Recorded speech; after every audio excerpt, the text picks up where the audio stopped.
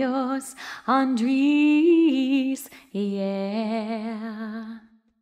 One happy birthday dot com.